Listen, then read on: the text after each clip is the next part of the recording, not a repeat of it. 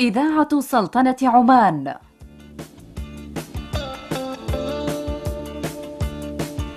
مساء اليمامات يجهرن بالعشق للغرباء. يا ولدي الأرض مثل الفرض. المقاعد شبه فارغة. أتقرب من فضائه الجمالي بطريقة أخرى. يفقد معناه ويصبح مجرد حبر على ورق.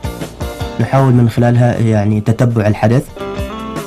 وعندي إحساس كذا دفين. تعلمت من حتى الكتب الرديئة. والله العظيم يا المثقفين العرب يتصرفوا مثل الديكة والطواويس. وكانت اللغة عالية جدا. يقع القارئ في متاهات. سآتيك لا النار نار ولا البحر بحر. نعم إذا هذه دعوة أتمنى أن تجد صداها. المشهد الثقافي. رحلة أسبوعية مع أهم الفعاليات والمناشط الثقافية.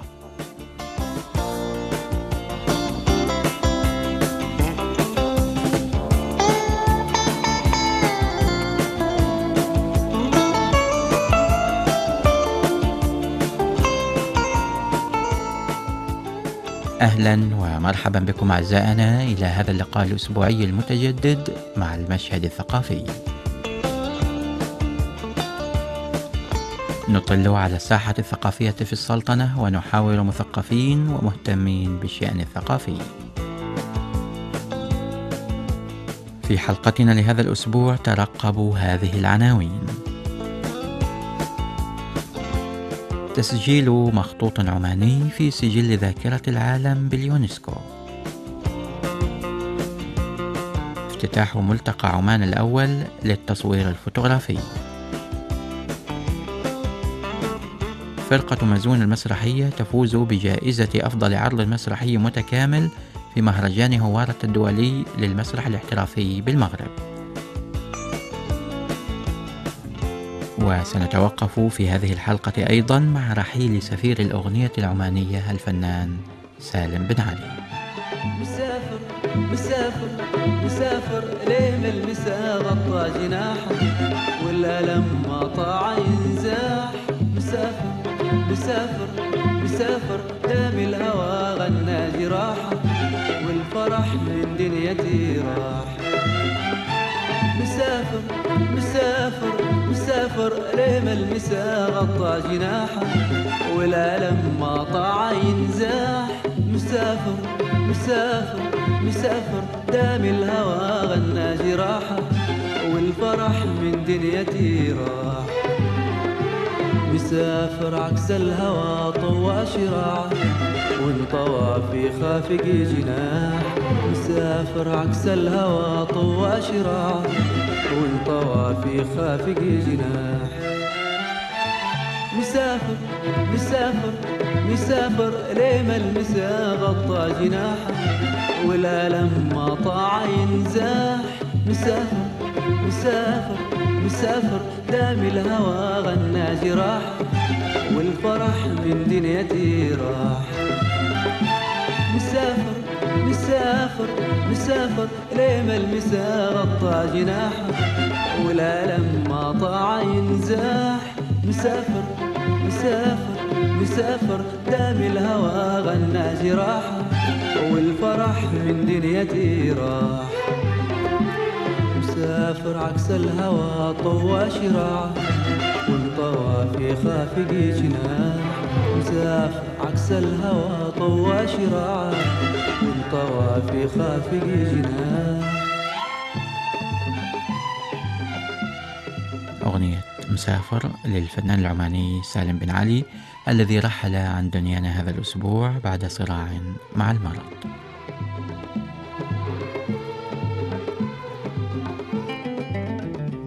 ويعد الفنان الراحل من أهم الأسماء التي أفرزتها الأغنية العمانية في السنوات الثلاثين الأخيرة واكتسب شهرة واسعة تعدت نطاق المحلية إلى خارج حدود السلطنة فاعتبر بحق سفيرا للأغنية العمانية.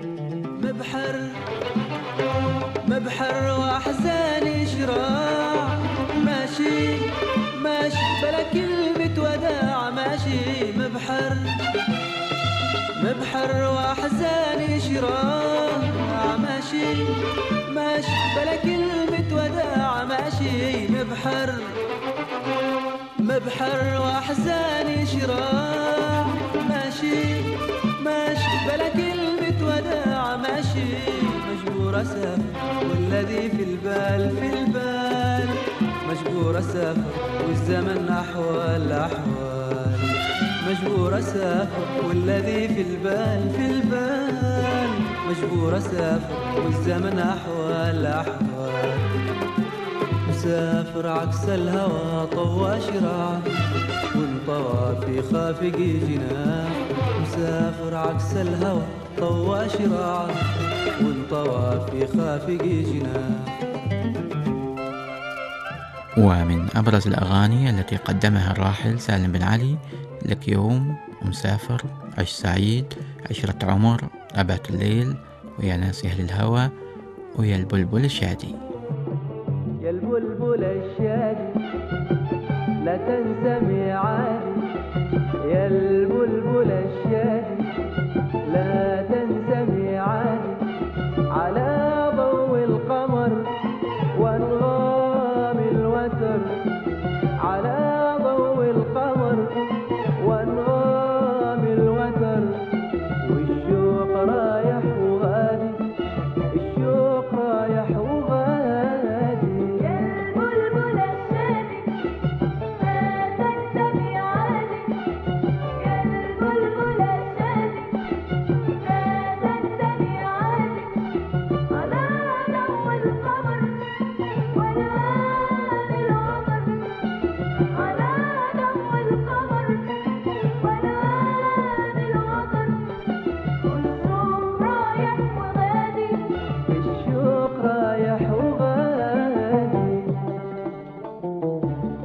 يلي نستعيد مقتطفات من حوار أجراه المشهد الثقافي مع الفنان سالم بن علي في حلقة سابقة بثت في السابع عشر من ديسمبر عام 2015 إثر مشاركته في فعاليات الملتقى الدولي الثاني للمؤرخين الموسيقيين والذي قدمت في افتتاحه أغنيته يا منيتي يا حياتي.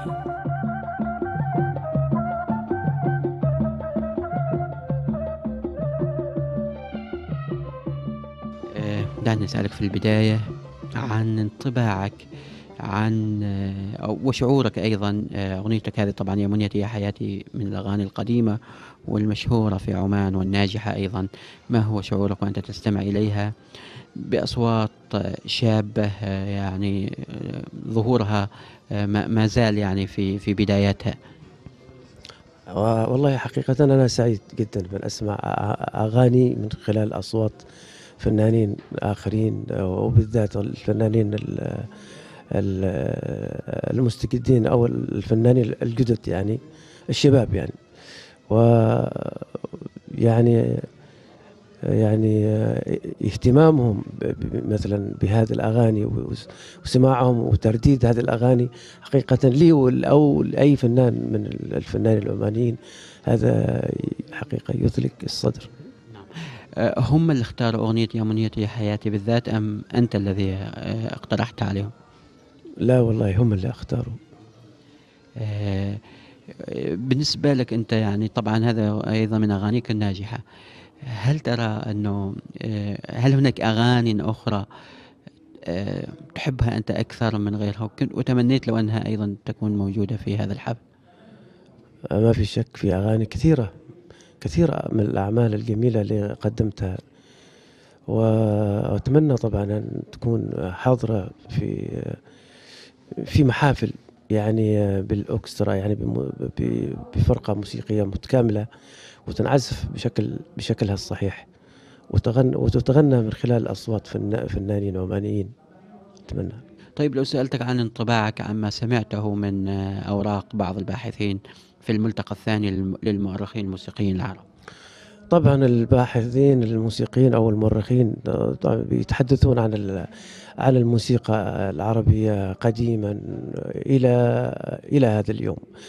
فالحقيقة هم أيضا يعني يحز في أنفسهم. هم أيضا متأثرين من آه، عملية دخول بعض بعض ال- الفنون أو بعض الآلات الغربية في في موسيقانا العربية. فهذا حقيقة يعني يزعج آه، يزعج ال- ال- ال- المهتمين في مثل في في هذا المجال يعني. ما بالك هذا موسيقيين وناس يعني مؤرخين وباحثين ويقدموا أو يعني محاضرات أو يت- يتحدثوا في في آه، مثلا في مؤتمرات من خلال آه، يعني المؤتمرات مع الفنانين الحاضرين أو الكتاب أو الصحفيين أو النقاد بحيث إنهم يوصلوا هذه الرسالة إلى إلى إلى إلى الجميع يعني. ونتمنى توصل الرسالة. إذا أنت كملحن وموسيقي آه، لا تحبذ آه، أن آه، يطعم اللحن الشرقي أو اللحن العماني مثلا بموسيقى غربية؟ لا, لا الموسيقى العربية هي يعني فيها حس. الأغنية العربية تختلف عن الأغنية الغربية. الأغنية الع- العربية فيها إحساس يعني فيها فيها شجن. تختلف عن الأغنية الغربية. الأغنية الغربية فيها إيقاع وفيها صريخ وفيها يعني اجواهم تختلف عن أجوانا. فطبعا الأغنية العربية لها وقع آخر. آه، يعني أتمنى أيضا أن تسرد للمستمع مثلا حكايتك مع أحد الألحان الكثيرة التي لحنتها لنفسك؟ آه، لحن أنت الذي آه، صغته. آه، كيف اخترت ال- المقام؟ كيف وأتاك هذا اللحن مثلا؟ دعني مثلا أضرب مثلا بأغنية عش سعيد. هي الأغاني الله يسلمك هي أول أو اولا الفنان الموهوب هو يعني اللي عنده عنده القدرة في التلحين في مجال التلحين وهذا وهذا مش سهل. يعني آه، لما سبحان الله انه الله يعطي شخص موهبة في التلحين يعني في في في فنانين يلحنوا ويكتبوا شعر. شفت كيف؟ يعني موهوبين. في ناس تعزف عود ويعني إذا تسمعهم تندهش لكن ما يقدر يجيب لك حرف يعني استبكار جديد من عنده اطلاقا. لأنه ال- العملية مو- موهبة. فأنا حقيقة أنا كثير وأنا في السن في مرحلة كنت من مراحل سن صغير يعني كنت صغير في ذاك الوقت كنت وكنت أغني يعني ألحن أغاني ك- يعني فيها كوبليهات فيها نقلات من لحن إلى لحن من جملة إلى جملة حتى موسيقاها. أضع الموسيقى آه، يعني بين كل كوبليه موسيقى آه، وانتقل إلى إلى جملة أخرى ب- بك- غنى من ثم موسيقى ومن ثم غنى يعني كل مقطع يختلف عن الآخر. كوبليهات. أول فنان عماني في عمان يقدم أعمال مكبلة هو أنا. مثلا عيش سعيد مثلا أغاني قديمة ما سمعتوها أنتم. تغنت قبل وما وما بعضها جدتها وبعضها ما يعني ما زالت. فأول من قدم ووضع حتى الموسيقى يعني أنا تقريبا وضعت الموسيقى في في أغاني موسيقاي يعني في في أغاني. وهذا يعني الحمد لله هذا مش مش كل من كل الناس يعني موهوبين يضعوا موسيقاهم في أغانيهم ويغنوا اطلاقا لأنه أيضا يعني نحن أيضا استشهد لك ب ب يعني ملحنين يعني فطاحله مثل الله يرحمه فريد الأطرش. ما غنى الا حد من الملحنين اطلاقا غنى من ألحانه لأنه رجل موهوب. فايضا عبد الوهاب وكثير من الفنانين اللي لهم يعني وحاليا كاظم الساهر مثلا. كاظم الساهر حقيقة ما أدري إذا كان يغني لحد أو ما يغني لحد إن كان يغني لنفسه هو موهوب وهو رجل قادر إن- إن يعني يقدم أعماله وأعماله ناجحة. مثل ما نسمع. طيب بما أننا في يعني ملتقى ال- المؤرخين الموسيقيين آه، هل ترى أن الموسيقى العمانية سواء ألحانك أنت أو الألحان أيضا الجيل الذي سبقك جمعان ديوان وغيره من ال- ال- الموسيقيين وثقت أو أرخها؟ هل لدينا مؤرخون موسيقيون في عمان؟ والله المؤرخون موجودين بس ما أدري هل هذا ال- ال- الفنانين آه، يعني آه، ارخو لهم شيء أو هذا. أنا حقيقة يحز في نفسي يعني بما أنك أنت يعني أشرت إلى هذا. أنا حقيقة آه، يعني أعتب أعتب لأنه يعني الفن في فنانين توفوا الله يرحمهم. ما لهم إحياء ذكرى. اطلاقا ولكنهم فنانين موجودين في هذا البلد. وفي شعراء توفوا الله يرحمهم وقدموا من أجمل ال- القصائد وأجمل الأعمال. زايد ال- ال- الم- المغنين اللي ذكرت لك إياهم. ولا لهم أي ذكرى في اطلاقا في يعني إحياء ذكرى اللي اليوم يعني اللي توفوا فيها بحيث إنه يتكلمون عن سيرتهم ويتكلمون عن ما قدموه في حياتهم. وهذا حقيقة يحز في النفس بأمانة يعني. وأنا أتمنى يعني إذا كان في الإمكان من المعنيين بهذا الأمر أن يأخذوا هذا الكلام بيد يعني يهتمون بهذا الكلام ويأخذونه بجدية و- و- وأن تكون هناك يعني أحياء ذكرى للشعراء وللفنانين. مثلا حكم عايل فنان من, أجمل الفنانين في عمان. يعني توفى ولا أحد يعرف عنه متى توفى. رجل هذا مرض ولا أحد يعرف عنه. يعني يعني ما في ما في أي اهتمام لل- للمبدعين لا بس مثلا يعني وسالم اليعقوبي الله يرحمهم جميعا. بس مثل حكم رجل هذا رمز من رموز الغناء في عمان. ما حد التفت له لا في مرضه ولا حتى لما توفى ما حد ذكره. يعني ما في أحياء ذكرى له ولا له ولا حد تكلم عنه. لا في جريدة ولا في تلفزيون ولا ذكروه بأي شيء. ولكنه يعني حقيقه الفنان الفنانين في عمان من الفنانين ومن الشعراء. ما كانهم الا الا, إلا أصحاب الصيف. اطلاقا ما في اهتمام لهؤلاء الناس لهؤلاء المبدعين اللي قدموا واثروا وأثروا وأثروا الساحة العمانية وأرشيفهم مليان ولا حتى تذاع لهم أغنية.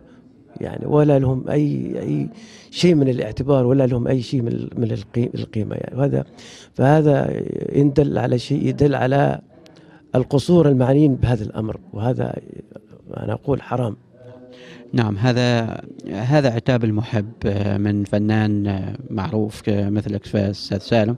وأتمنى أيضا آه، المستمعين لهذا البرنامج أن يستمعوا لهذا العتاب ويكون هناك اهتمام أكبر بالفن العماني والأغنية العمانية والم- والموسيقى العمانية. عتابي هو من محبة حقيقة والغيرة في نفس الوقت. نحن ما نريد الآ- الآخرين يقول مثلا من برا يقول يا أخي ليش أنتم ما تعملوا كذا؟ ليش ما تسووا هكذا؟ هذا مش هذا حرام هذا عيب مثلا يعني. فنحن نحن نتكلم قبل الآخرين لا يعاتبوهم ويحرقوهم ويحطوهم في موقف حرج. لذا يجب أن يهتمون بمثل هذه المواضيع. هذه المواضيع مهمة مش سهلة ويفكرون ال- ال- الفن يعني يعني سلعة. هذا الفن رسالة سامية ولها مكانتها وقيمتها واحترامها. والفنان يعتبر من من يعني يناطح الكبار في نفس الوقت. يناطح الكبار يعني.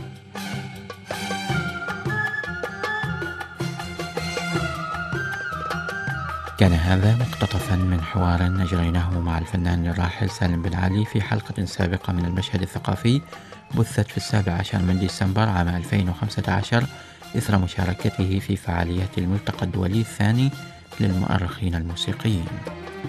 أبات الليل أناجي طيف من أهوى. أسامر لوعتي والشوق وترجى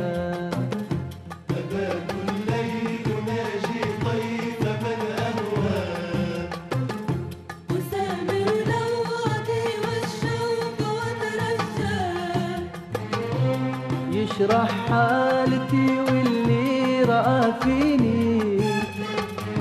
يكون رسول ما بينه وما بيني.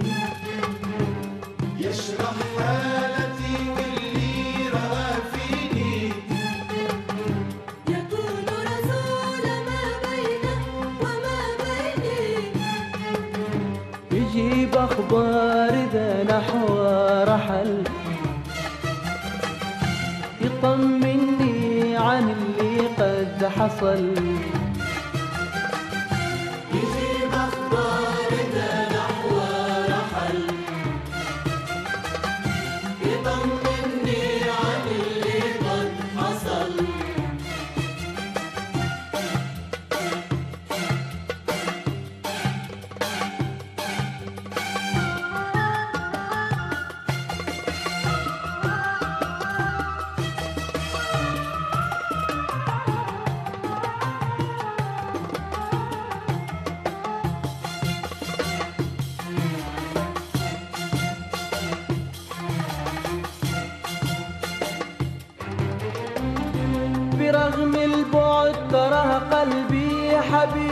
ما نساك برغم الصد والهجران ما يهوى سواك.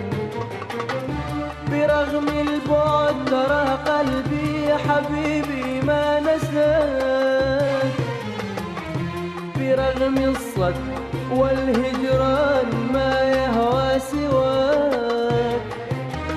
رغم إن ارتوى ما زال ضامي للهوى رغم إن ارتوى ما زال ضامي للهوى وأنا بذكرك من قد غيرك وأنا وأنا بذكرك من من قد غيرك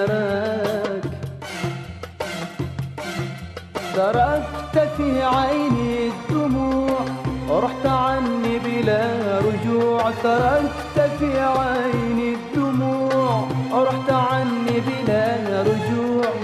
آه يا قلبي أنا في النار خلك رمك آه يا قلبي أنا في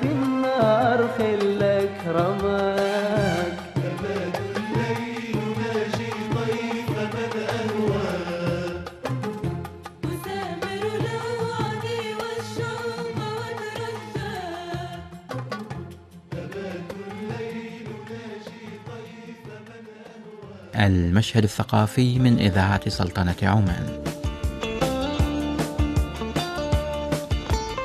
موضوعنا القادم عن تسجيل المخطوط العماني معدن الأسرار في علم البحار لناصر بن علي الخضوري في برنامج سجل ذاكرة العالم بمنظمة اليونسكو. وكانت السلطنة ممثلة في وزارة التراث والثقافة قد شكلت فريقا وطنيا لمتابعة أعمال برنامج ذاكرة العالم. يتكون من الجهات الحكومية والخاصة المعنية في السلطنة بحفظ وصون التراث الوثائقي البشري وهي وزارة التراث والثقافة واللجنة الوطنية العمانية للتربية والثقافة والعلوم وهيئة الوثائق والمحفوظات الوطنية ودار الأوبرا السلطانية مسقط وجامعة نزوة. ويعد تسجيل مخطوط معدن الأسرار لناصر بن علي الخضوري الأول من نوعه للسلطنة في هذا المضمار.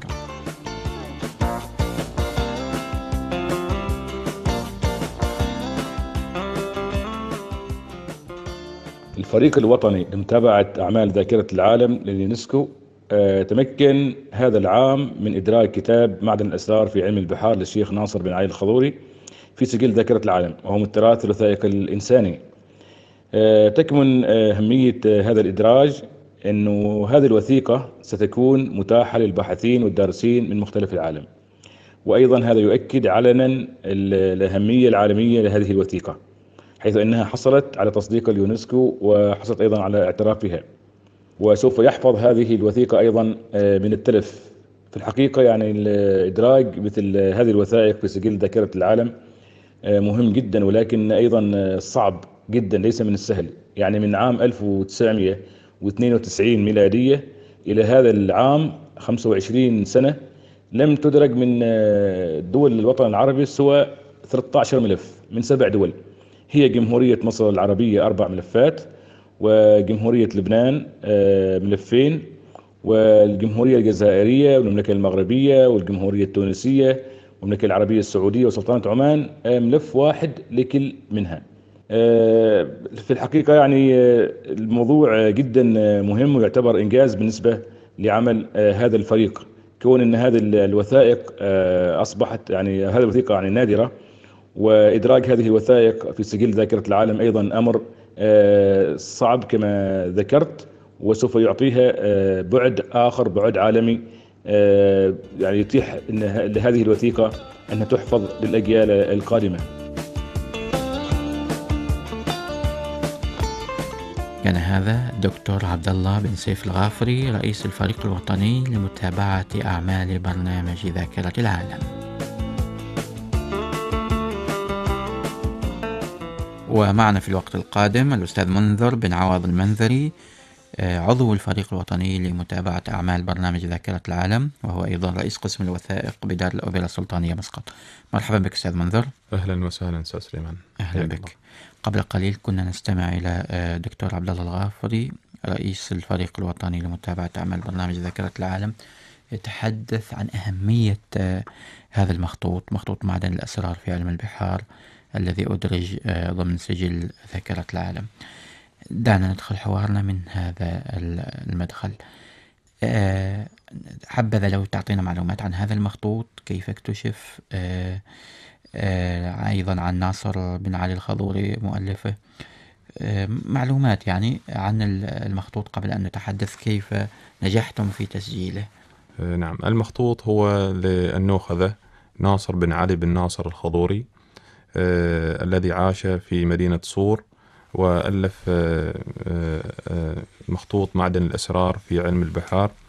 وهذا المخطوط من أهم المخطوطات العالمية في علم البحار ومن أهم المرشدات البحرية حيث تناول قواعد العلوم البحرية وقيادة السفن باستخدام الآلات البحرية وحساباتها الدقيقة ووصف البوصلة وأجزائها وخطوط الطول والعرض. وذكر الكثير من المواني والبحار والخلقان بالإضافة إلى ذكر آه، أيضا في المخطوط آه، هجرة القبائل من وإلى عمان آه، ويعتبر من المخطوطات البحرية المهمة ومن الرحمانيات آه، وكما ذكرت من المرشدات البحرية المهمة التي لا غنى عن أي بحار آه، في المنطقة عنها. نعم. متى آه، تم تأليف هذا المخطوط؟ تم تأليف هذا المخطوط آه، طبعا آه، ناصر بن علي آه، الخضوري آه، الذي عاش مثل ما ذكرت في مدينة صور آه، ولد آه، في عام آه، 1870 وتوفي في عام 1968 مهم. أي عاش قبل حوالي آه، آه، يعني عاش في القرن التاسع عشر والقرن العشرين نعم وعمر طويلا وعمر نعم طويلا. آه، ففي هذه الفترة إذا معناها في بدايات القرن العشرين في بدايات. القرن العشرين نعم مهم. جميل الآن دعنا ننتقل للجزء الأهم كيف استطعتم آه، تسجيل هذا المخطوط في سجل ذاكرة العالم آه، هذا المخطوط طبعا تم عرضه من آه، من الأخوة الممثلين وزارة التراث في الفريق وتم تداوله آه، بين أعضاء الفريق وتم ترشيحه وتم تسجيل الاستمارات الخاصة آه، التي ستبعث إلى منظمة اليونسكو آه، الموافقة طبعا للشروط والمعايير التي حددتها آه، منظمة اليونسكو خاصة في برنامج ذاكرة العالم. نعم وما هي هذه الشروط؟ أهم هذه الشروط طبعا المغزى العالمي.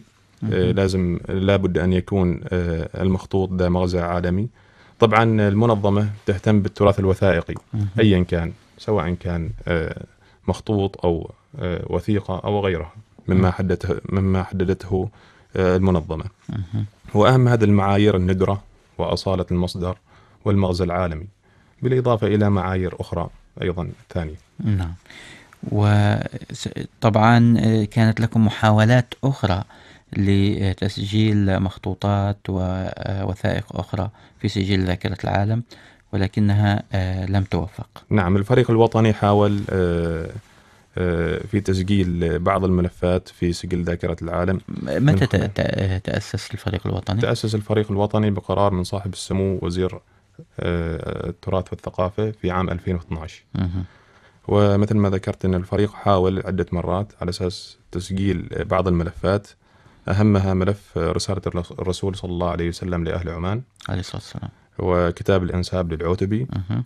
وملف نظام الري بالأفلاق مهم. آه، وهو الخاص بالسلطنة نظام الري هذا فلق الغنتق نموذج مهم. كان بالإضافة إلى مصحف ابن بشير الصحاري. والملف الخامس هو معدن الأسرار مخطوط معدن الأسرار في علم البحار والحمد لله توفقنا في تسجيله في نعم. في هذا البرنامج. نعم. والملفات السابقة آه، عرفتم لماذا تم رفضها من ال...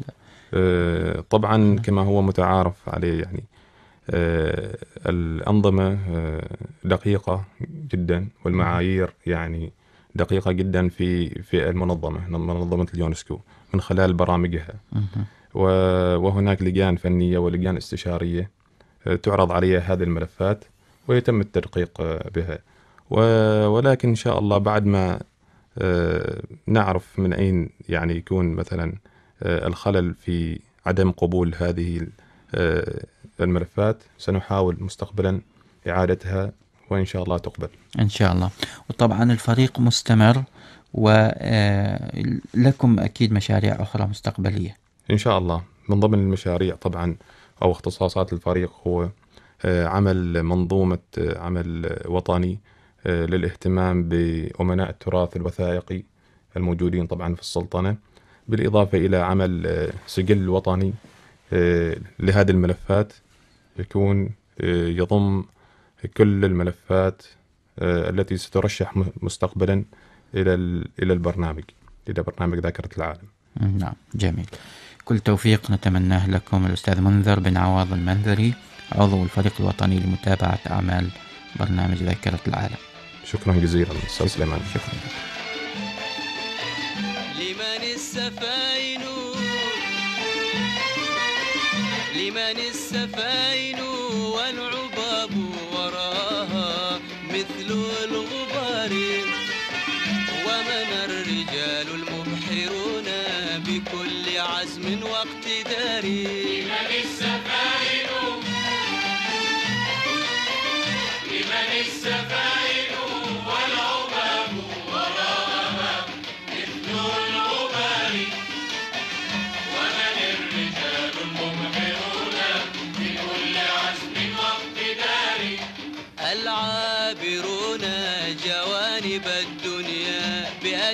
بأشرعة الصواري هذا بن ماجدا العمانيون أسيد البحار هذا بن ماجدا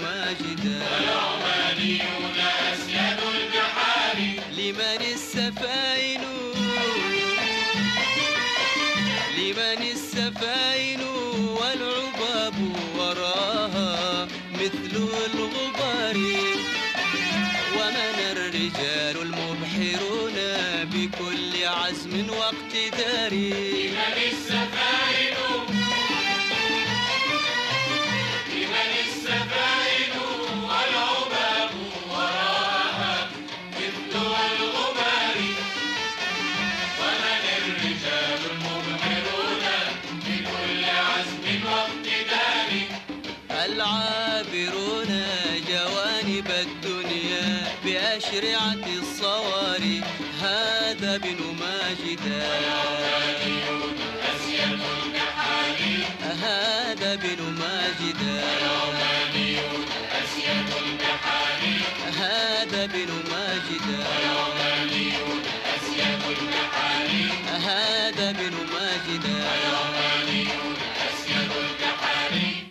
المشهد الثقافي من إذاعة سلطنة عمان.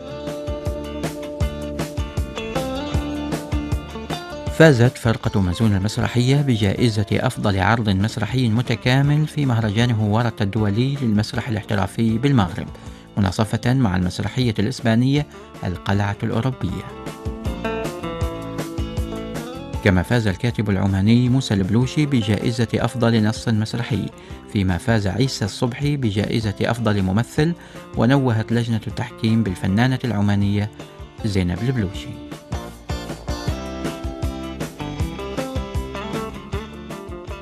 ومعنا في الوقت القادم المخرج المسرحي يوسف البلوشي رئيس فرقة مزون ومخرج العرض الفائز. مرحبا بك أستاذ يوسف ونبارك لكم هذا ال- الفوز الذي نعتبره فوزا لنا جميعا. آه، شكرا لك سليمان وشكرا أيضا على استضافتكم في هذا البرنامج الجميل المشهد الثقافي و أنا أيضا سعيد يعني وهو إنجاز للمسرح في السلطنة بشكل عام. أكيد. وأنتم ما شاء الله يعني فرقة مزون عودتونا على مثل هذه الإنجازات. مش لكم مشاركات خارجية مشرفة وهذا ليس الفوز الأول الذي تفوزون به خارج السلطنة طبعا. نعم طبعا الحمد لله رب العالمين.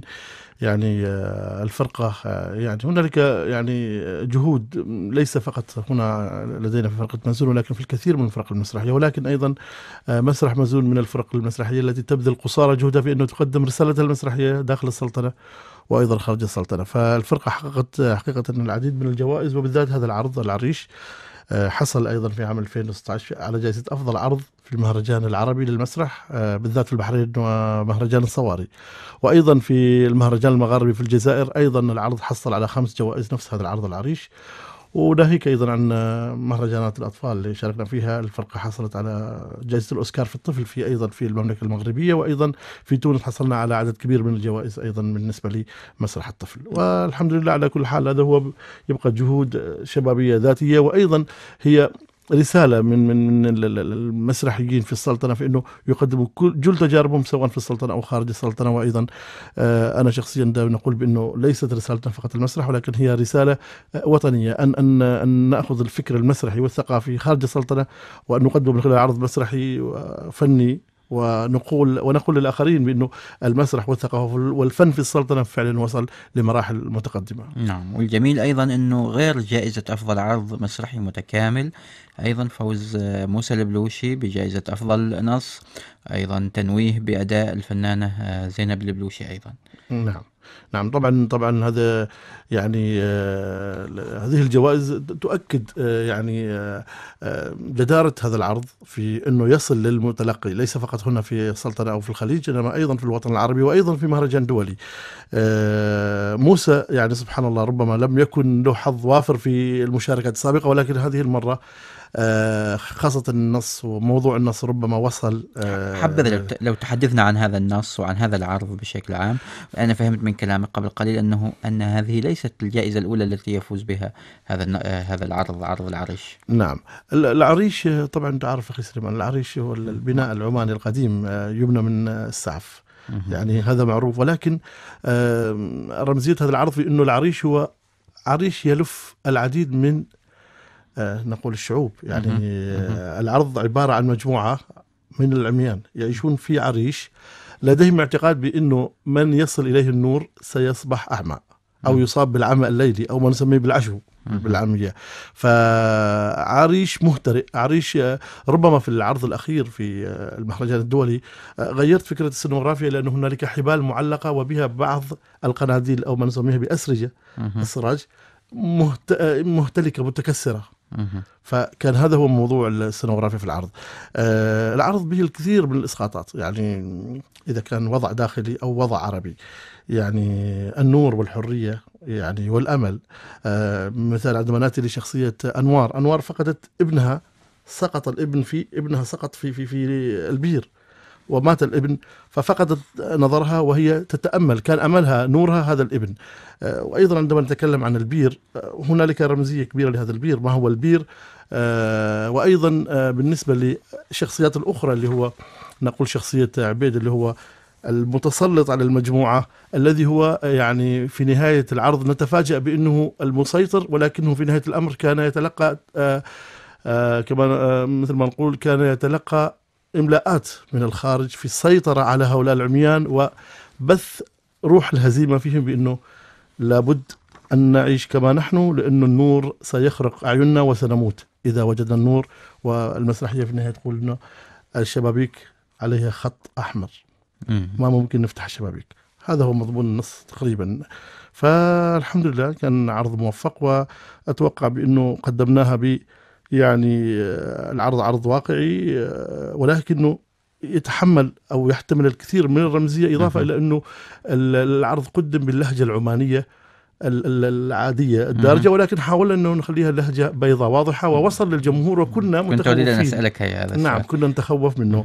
هذا العرض هل سيصل لهذا الجمهور؟ جمهور من أوروبا حضور من أوروبا من الوطن العربي وتعرف آه، اللهجات. متعددة، ولكن ما وجدناه بعد العرض بالتصفيق المستمر وفي الندوة التطبيقية على العرض آه، لم يتحدث أحد بأنه بالعكس وصلهم العرض كل واحد وصل العرض بالطريقة التي وصلت والتأويل الذي وصله وصل لل- لل- للمتلقي وهنالك كانت إشادات بأنه هذا العرض ربما يمثل ال- الواقع في الوطن العربي. جميل جدا. هذه النجاحات التي تحققها مزون خارجيا من فترة لأخرى نسمع لكم فائزين بجائزة سواء عرض متكامل أو أحيانا في الإخراج وأحيانا في التمثيل أيضا.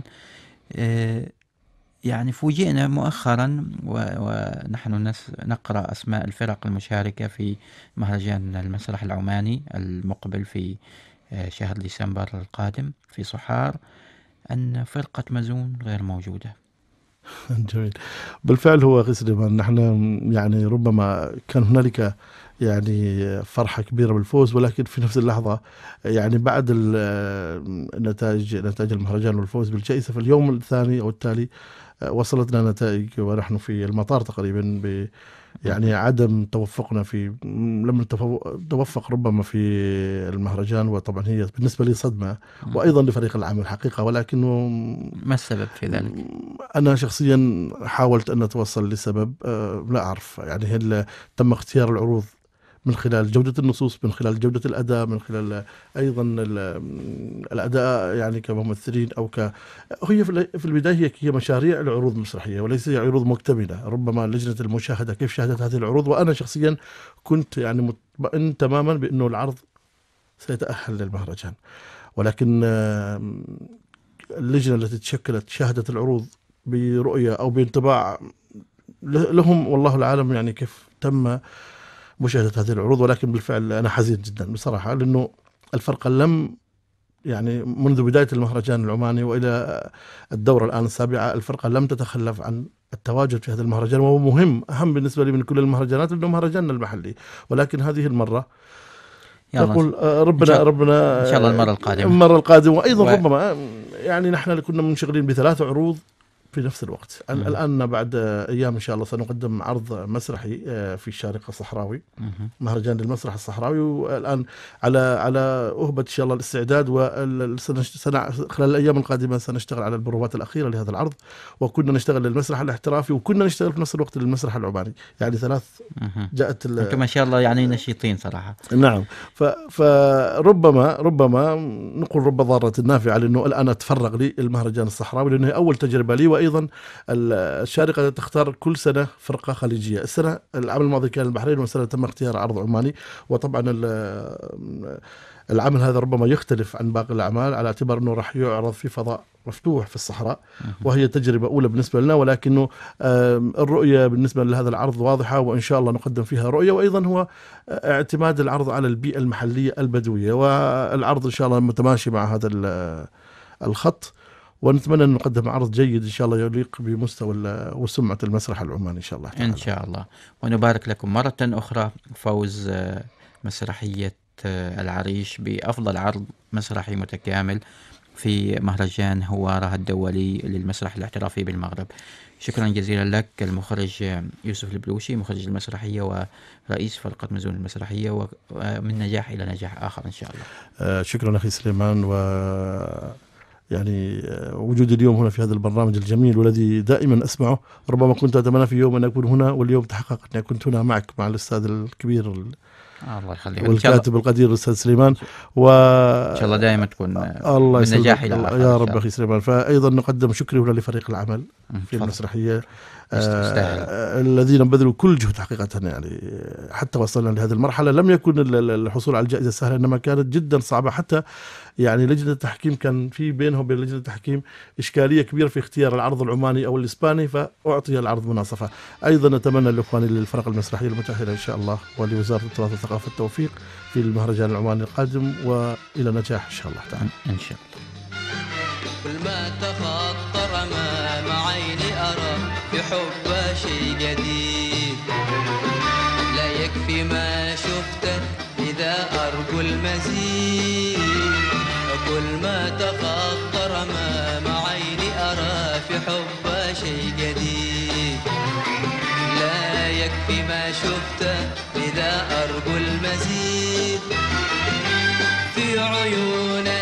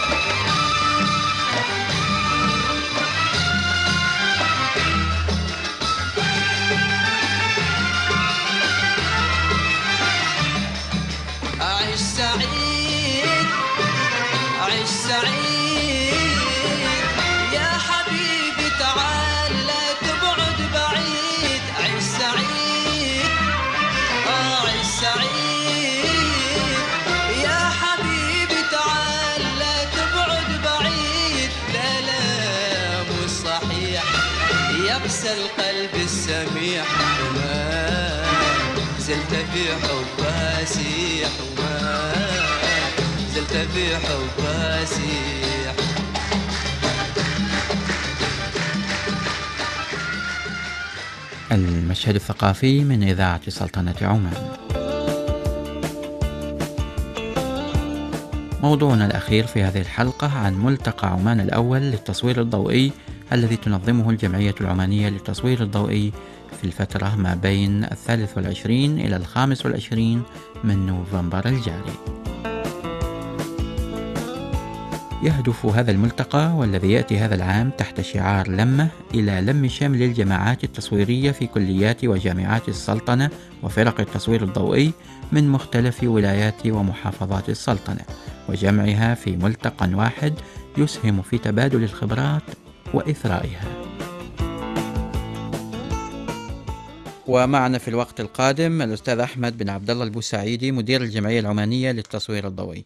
مرحبا أستاذ أحمد و دعنا ندخل في البداية يعني من في الحوار عن الملتقى بما أنه الملتقى الأول كيف جاءت فكرة هذا الملتقى؟ آه، طبعا بداية أشكركم على تسليط الضوء على ملتقى عمان الأول للتصوير الضوئي طبعا فكرة الملتقى هي آه، للجماعات وفرق التصوير الضوئي المنتشرة حول السلطنة ومن الواضح انتشارها في في الكليات في الجامعات وأيضا في ال- الأندية الرياضية في آه، مختلف آه، أنحاء السلطنة طبعا الفكرة آه، على أساس تجميع هذه الفرق وهذه الجماعات وأيضا صقل مواهب الشباب والمشاركين وأعضاء الفرق للوصول إلى مستويات راقية في فن التصوير الضوئي. نعم. وطبعا تقدمت لهذا آه، الملتقى كثير من الفرق آه، آه، بالضبط. طبعا ال- الفرق ال- طبعا نحن وجهنا الدعوة لجميع الفرق للمشاركة وتقدمت لل- للملتقى آه، 25 فريق تم اختيار 21 فريق اللي هي مطابقة للشروط المشاركة. ومشاركة الفرق طبعا آه، كانت آه، مشروطة أيضا بمشاركة بعدد من الأعمال الفنية وعددها عشر صور لعشر مصورين. نعم طبعا هذا عليها مسابقة تقيم بالفعل. تقيم ويتم اختيار ال- الفريق الفائز في في نهاية ال- الملتقى. إن شاء الله راح يكون يوم السبت تاريخ 25 مهم. آه، الفرق أيضا آه، تم تحديد آه، شخصين. آه، اللي هم آه، سواء كان آه، يتم اختيارهم من خلال الفريق شخصين للمشاركة في الملتقى من كل فريق ومن ال 21 فريق طبعا تم اختيار شخصين من كل فريق وبالتالي 42 مشارك. بالإضافة إلى أضفنا نحن مجموعة من المصورين اللي هم شاركوا آه، من خلال عضوية الجمعية فبالتالي الجميع مجمل الإجمالي لعدد المشاركين في الملتقى 50 مشارك. آه، هذا طبعا الملتقى راح يحتوي مجموعة من البرامج ومجموعة نعم. من وهذا السؤال القادم أستاذ أحمد. في دورات تدريبية وفيه آه، ليالي فوتوغرافية مفتوحة سنتحدث عنها لاحقا ولكن دعنا نبدأ بالدورات. بالضبط. طبعا آه، الملتقى في الأساس آه، هو لصقل هذه المواهب. فبالتالي تم اختيار المواضيع التي يعني تقدم تكون بمستوى عالي. آه، يعني بمعنى آخر هي يعني غير مخصصة للمبتدئين ولكن برامج آه، بمستوى أعلى وبمستوى نفس الشيء متقدم. آه، فكان التركيز بشكل عام على موضوع المشاريع الفوتوغرافية اللي يعني طبعا نواجهه نحن كمصورين في في السلطنة هو افتقار الشباب أو المصورين إلى التوجه في مشاريع فوتوغرافية بعيدا عن التقليد وبعيدا نفس الشيء عن ال ال ال ال- النمطية أو ال- ال- الروتين المعتاد في التصوير في المواضيع سواء كان تصوير طبيعة أو تصوير حياة الناس وغيره لكن اختيار مواضيع نوعا ما نوعية بحيث إنها تكون مخطط لها وتكون آه، كمشاريع فوتوغرافية. أيضا آه، راح تكون هناك آه، ورش متخصصة في التصوير داخل ال- الاستوديو. سواء كان لتصوير الطبيعة الصامته أو تصوير بعض المواضيع التجريديه أو تصوير ال- الوجوه في أو آه، تصوير الشخصيات في الاستوديو. أيضا راح يكون هناك في برنامج ال Lightroom اللي هو برنامج معالجة. آه، لكيفية معالجة الصور وكيفية أرشفة الصور الفوتوغرافية وكيفية استعادتها أيضا من بعد أرشفتها. نعم إضافة إلى ذلك راح يكون في تطبيق عملي من خلال رحلات تصويرية واللي خصصنا نحن أن تكون آه، تحت مسمى ماراثون تصوير اللي هو راح يكون في تحدي بين الفرق المشاركة. في الملتقى من حيث اخراج مواضيع ملفتة ومواضيع قوية من خلال ال- الأماكن اللي راح يزوروها آه، في هذه الرحلات. نعم. و- وأيضا آه، دعنا الآن نتحدث عن الموضوع الذي أجلناه وهو الليالي الفوتوغرافية المفتوحة. طبعا هناك ليلتان آه، و- واحدة يوم ليلة الخميس وليلة الجمعة. بالضبط. ال- عندنا طبعا ليالي فوتوغرافيه، الليالي الفوتوغرافية هذه مفتوحة للجميع، إن كانت الدعوة عامة للجميع لكل محبين فن التصوير الضوئي،. آه، زيارة الجمعية آه، راح تكون من السادسة والنصف إلى الساعة الثامنة والنصف. آه، يوم الخميس ويوم الجمعة راح تكون الليلة الأولى تحت عنوان الفوتوغرافيا فن متجدد. وراح يقدمها سعادة السيد إبراهيم البوسعيدي آه، أما الليلة الثانية اللي هي راح تكون يوم الجمعة راح تحت تكون تحت عنوان باقة ضوء. وهذه راح يقدمها المصور السعودي محمد الخراري. وإن شاء الله راح تنال آه، استحسان الحاضرين وإن شاء الله راح تكون آه، ليالي مثمرة. آه، من ضمن الليالي الفوتوغرافية اللي هي راح تكون المساء راح يكون على هامش هذه الليالي اللي هو نحن هو بشكل عام الملتقى يعني يحمل عنوان لمة. صحيح. فلمة للفوتوغرافيين أو لمة للمحبين آه، التصوير ولمة لأصدقاء الضوء. فخلال هذه اللمة أو خلال هذه الليالي الفوتوغرافية أيضا يكون موجود معرض آه، الكلاسيكي أو المعرض التقليدي لفن التصوير اللي راح يحتوي إن شاء الله آه، مجموعة من الكاميرات ال- القديمة. جميل. اللي كانت تستخدم سواء كانت بالأفلام واللي كانت نفس الشيء قديمة جدا آه، في بدايات فن التصوير آه، الضوئي. إضافة إلى ذلك راح يكون هناك آه، معرض للفرق اللي هي مشاركة ل 21 فريق. يعني نوعا ما كتعريف بهذه الفرق وأيضا إلى عرض بعض الصور اللي هي مشاركة بها في في مسابقة الملتقى. وراح يكون أيضا هناك ركن لخدمات تقدم للمصور من تنظيف للكاميرا إصلاح للكاميرات. لمن يرغب طبعا في هذا الشيء إضافة إلى عيادة للمصورين اللي هي أي استفسار أي سؤال لدى أي مصور بإمكانه إنه يتقدم لهذه ال- آه، عيادة أو اللي هي نحن سميناها عيادة لأن لمن يحتاج إلى مساعدة شبيهة بالعيادة الطبية. نعم. كل التوفيق. هذا بشكل مجمل يعني نعم. عن الليالي الفوتوغرافية وهي مفتوحة للجميع آه، بإمكانهم زيارة مقر الجمعية في الخوض. في آه، الفترة يعني من الثالث والعشرين إلى الخامس والعشرين من نوفمبر آه، آه، هذا ال- آه، الجاري. كل توفيق نتمناه لكم الأستاذ أحمد بن عبد الله البوسعيدي مدير الجمعية العمانية للتصوير الضوئي في ملتقى عمان الأول للتصوير الضوئي الذي نتمنى إن شاء الله أن يستمر في السنوات القادمة. إن شاء الله. شكرا جزيلا. شكرا لك. طال انتظاري متى يا عمري الوصال؟